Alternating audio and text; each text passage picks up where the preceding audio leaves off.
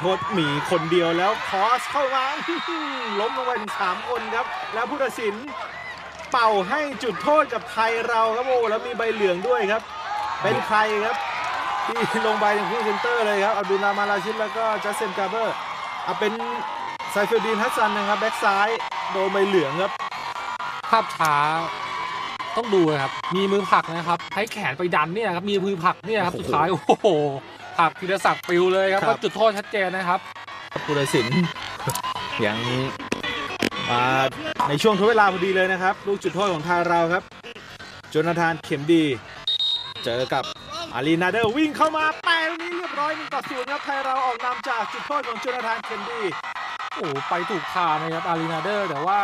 ไปไม่ทันครับตัวทางเข็ม